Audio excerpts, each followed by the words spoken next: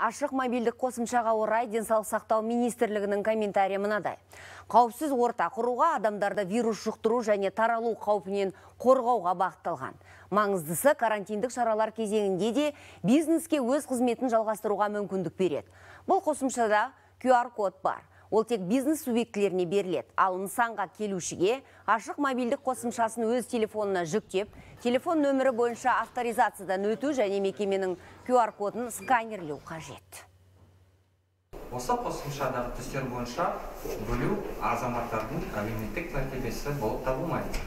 Бұл адамның науқас немесе онымен байланыста болғанын индикатор ғана болады.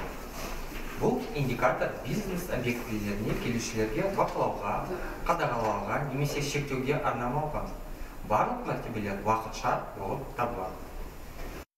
Кәсіпкерлер үшін пилоттық жобаға қатысу ерікті болып табылады. Денсаулық сақтау министрлігі кәсіпкерлерді де, азаматтарды да қосымшаны міндетті түрде қолдануға мәжбүрлемейді.